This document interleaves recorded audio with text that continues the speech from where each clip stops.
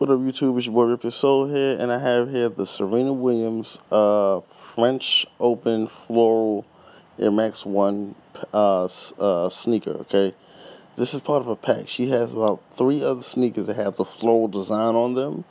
Um, it's a Nike Cortez, and it's another sneaker. I forgot, I forgot the name of it, but it's an ugly sneaker. That's why I didn't want to show y'all, okay? So I picked out the best sneaker from her little floral pack that's open that's uh that's dropping for the French Open.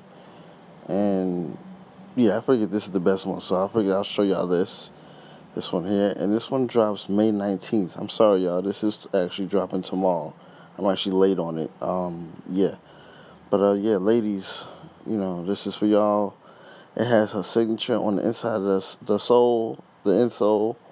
It has an autograph with her name on it and some something else. I couldn't really see it from the picture because the picture wasn't clear. But um, this is part of her floral pack. Okay, to dropping tomorrow, May nineteenth. Okay, um, real real dope sneakers from Serena Williams. So you know, go support her. You know, go support her.